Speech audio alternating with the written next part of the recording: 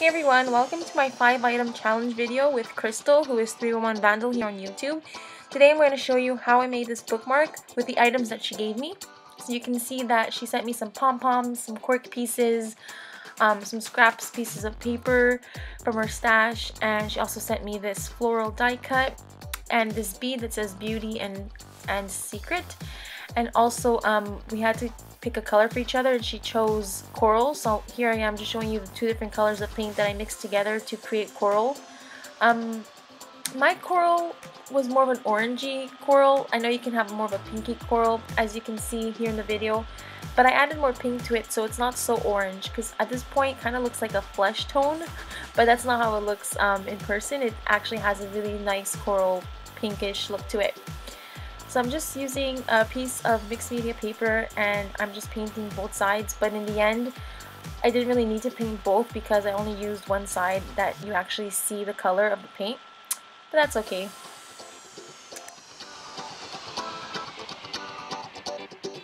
I also decided to paint some of these cork pieces that she sent me and you see later on the video I also used a Sharpie paint pen in black and hot pink to color some of these up too.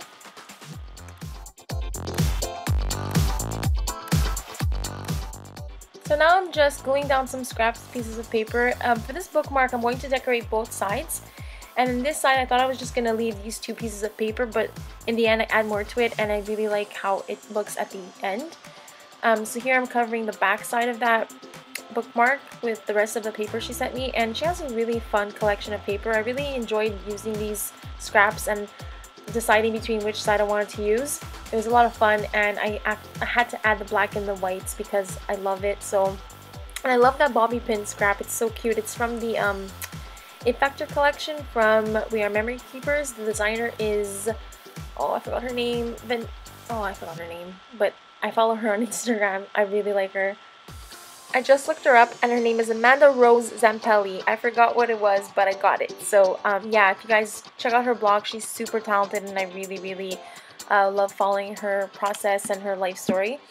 Anyway, um, so now I'm back to the front, or actually this is the back side of the bookmark, and I'm just adding some more scraps pieces of paper.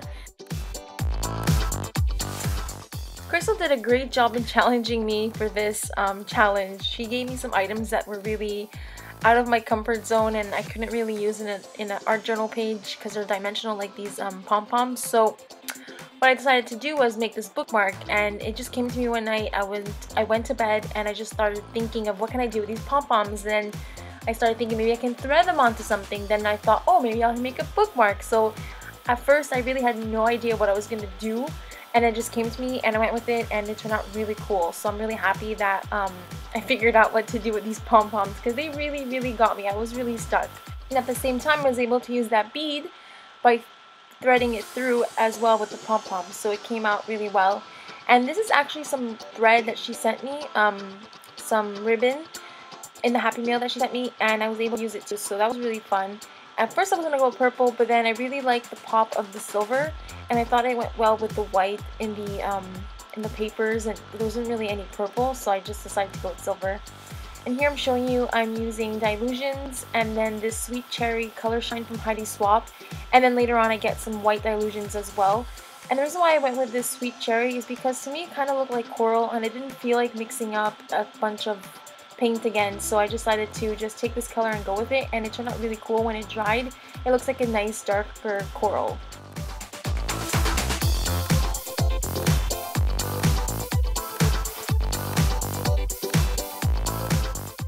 I'm using one of my new Stampotique images and I realized that I've never actually showed me stamping a Stampotique image before so that's why I kept this part of the uh, of the video in and I'm going to color it in really quickly with some Copics. I'm using um, a coral pinkish color and a light blue. And then I'm just coloring the flowers um, with, I think, purple and yellow as well. I did a really simple coloring here. Nothing um, too crazy. I didn't really do that much shading either. I just did a bit. I used two colors of the same color family and that was it. Because these type of images don't really need a lot of detailing um, in terms of coloring and shading because of the way they're drawn, I don't know, I find it super easy to color and like just a bit of uh, shadowing is enough and shading. I think it, it's it, they make it really easy to color. Basically, that's what I'm trying to get at. Um, so her name is Dwindled, and she's one of the newer releases.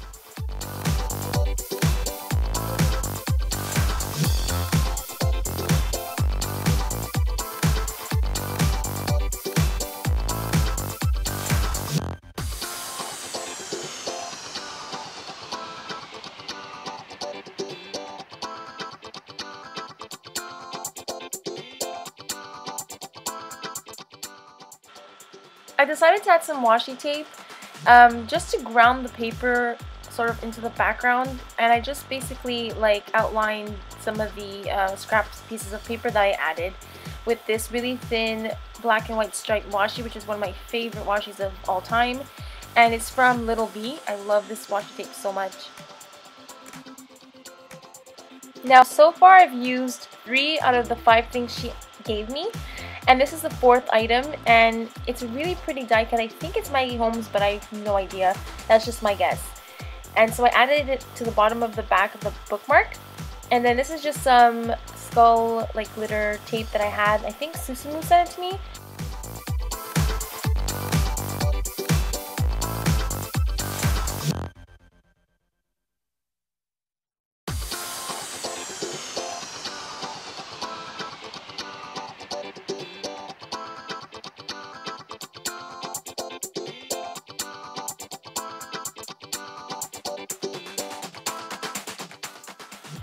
And now for the fifth challenge item.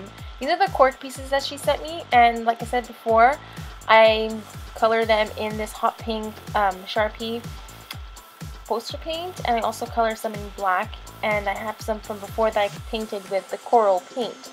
So what I'm going to do is with these is just add some onto the front of the bookmark as just like some embellishments.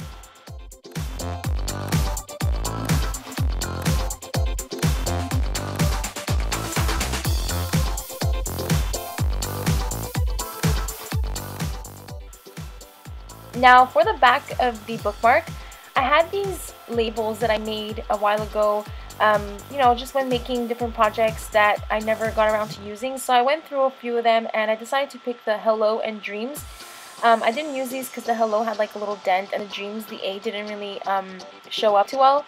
But I decided it looked pretty cool anyways in the middle of this bookmark. I really like how the black really adds like this pop of color. I really enjoy that. And now I decided to add some of those cork pieces um, to the back also just to finish it off and I added three as well.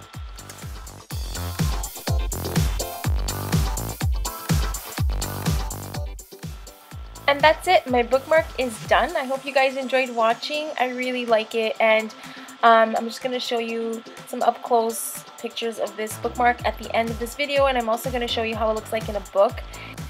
I had a lot of fun doing this 5 item challenge and I really hope that me and Crystal continue with these challenges. At the same time, who knows, maybe we can expand and add more people. I think that'd be really fun. Um, so let me know which side of the bookmark you guys like, which one's your favorite side. And I'm just going to show you some pictures and yeah, so thanks so much for watching and don't forget to subscribe, give this video a thumbs up, that really helps. And leave a comment if you'd like, let me know what you think and have a great day. Bye!